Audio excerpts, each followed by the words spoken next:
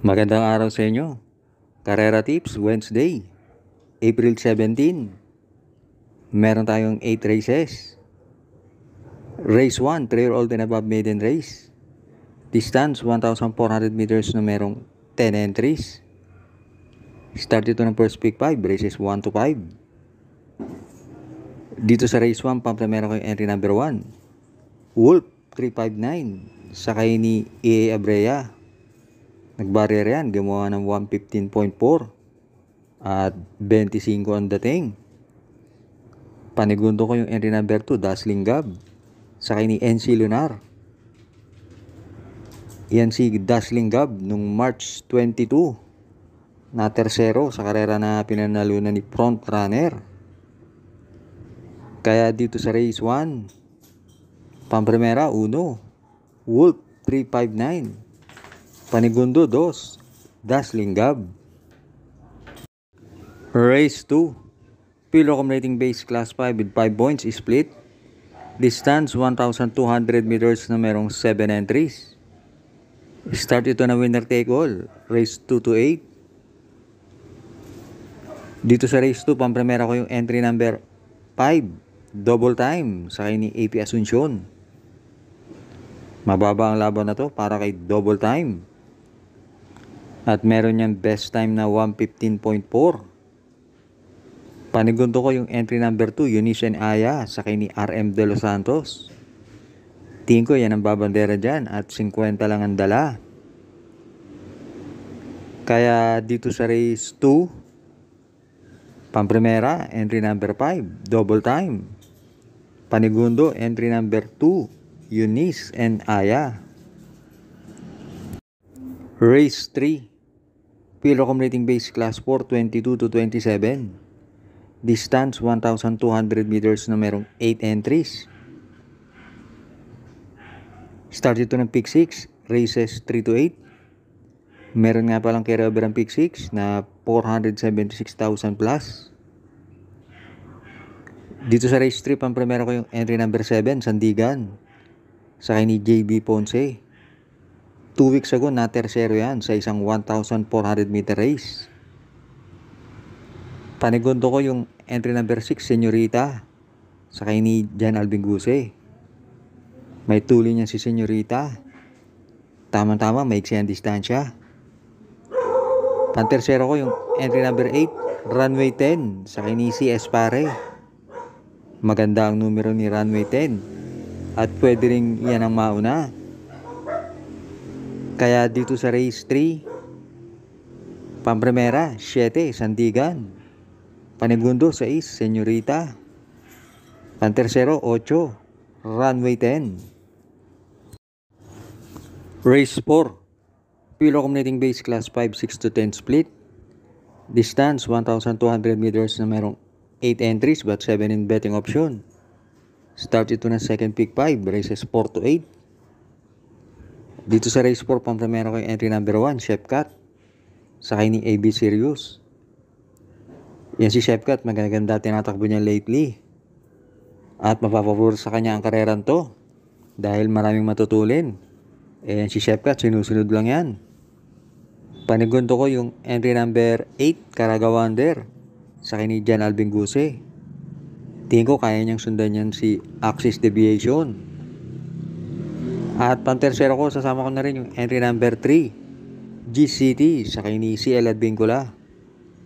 Yan si GCT na segundo kay Cool Mom sa isang 1,400 meter race. Kaya dito sa race 4, Pampremera, 1, Chef Cat. Panigundo, 8, Caraga Wonder. Pantersero, entry number 3, GCT.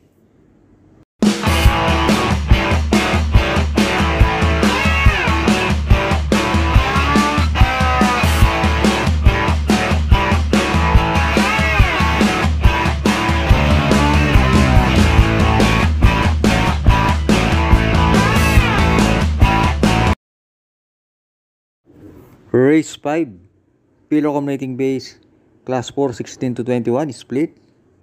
Distance, 1,200 meters na merong 8 entries. Start ito ng pick 4, races 5 to Dito sa race 5, pampremera ko yung entry number 4, Stefani. Sa kay ni si Espare. Last run, nanalo yan si Stefani sa isang 1,400 meter race. Tinalo niyan si Isla Puting Bato at Mythic Leila.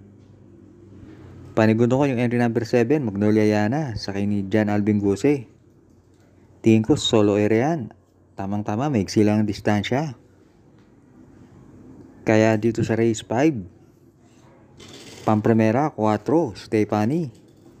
Panigundo 7, Magnolia Yana. Race 6, Pilo Accommodating Base Class 5, 11 to 15, split. Distance 1,200 meters na merong 8 entries. Dito sa race 6, pampremera ko yung entry number 6, Namaskar, sa kay ni JT Pabilik. Last run niya ni Namaskar, na segundo yan sa isang 1,200 meter race.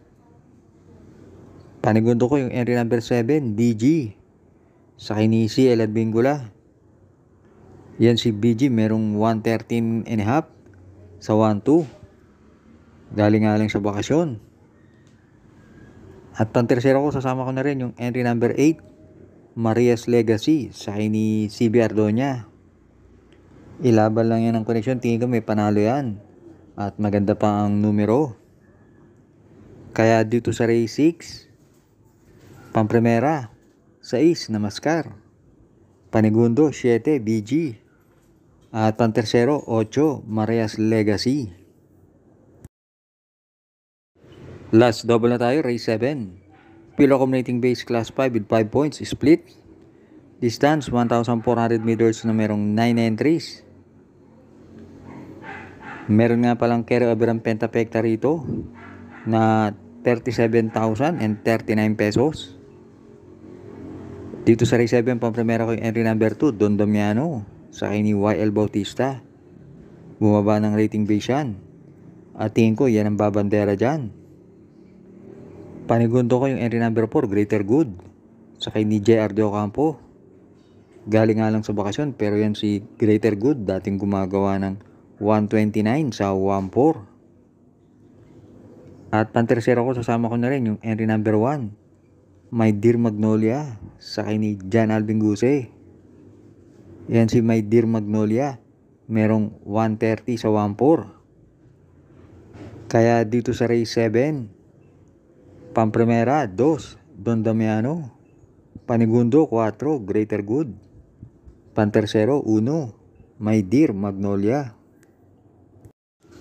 Last race na tayo, race 8. Pilo Accommodating Base Class 5, 6 to 10 split. Distance, 1,400 meters na merong 10 entries. Meron nga palang carry over ang Super 6 dito na 259,000 plus. Malaki-laki ang carry over na yan. Pwedeng gumawa ng ala chamba lang na diskarte dyan kahit 16 pesos. Pag natamaan eh, malaking pera.